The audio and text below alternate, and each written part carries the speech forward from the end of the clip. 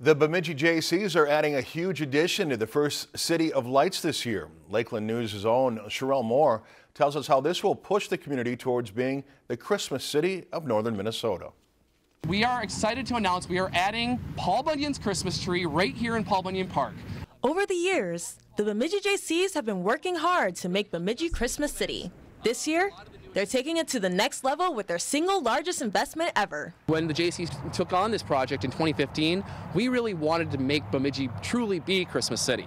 So each year we try to make changes and investments to expand and grow the Christmas light display to really make it the first city of lights and truly the Christmas city of the North. The new Paul Bunyan Christmas tree will be 56 feet tall. Its home will be in the heart of Paul Bunyan Park.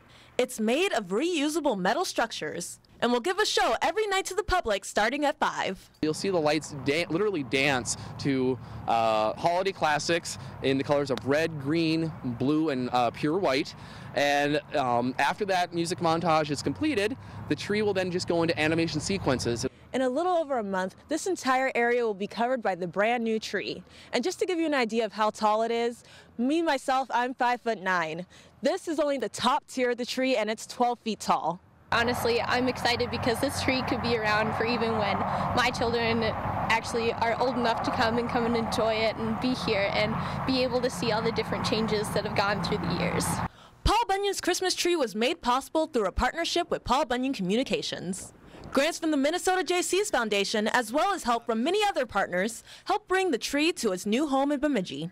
Whether it's adopting a tree, one of the big wreaths that are downtown, or even just on the streetlight banners that could potentially be used for future um, events that come with the First City of Lights. The tree will start construction in Paul Bunyan Park next Thursday.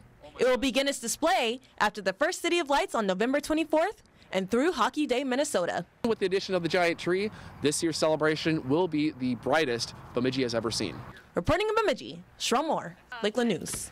In addition to Paul Bunyan's Christmas tree, there will be 200,000 lights placed all over the city of Bemidji. That's the most lights the city has seen in 20 years. If you enjoyed this segment of Lakeland News, please consider making a tax-deductible contribution to Lakeland PBS.